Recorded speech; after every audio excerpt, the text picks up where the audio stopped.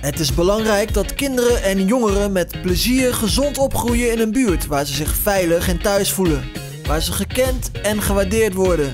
Daarom is het project Wijken voor Jeugd gestart. Goede ideeën en voorstellen vanuit de wijk worden door de gemeente gesteund. Er zijn meer dan 100 initiatieven en wij laten de komende weken een paar zien.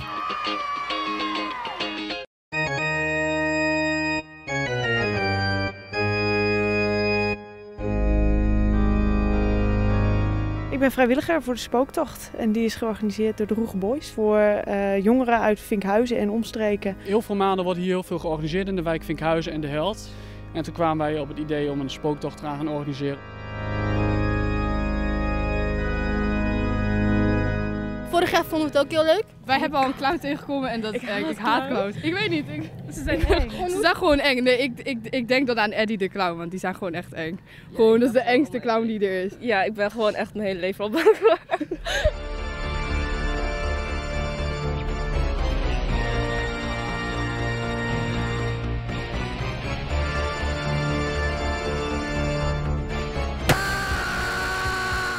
nul keer geschrokken. En de jongens wel.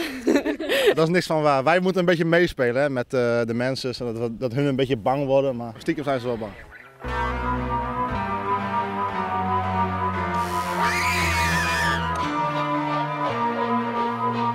Ik hoop heel veel kinderen bang te maken vanavond.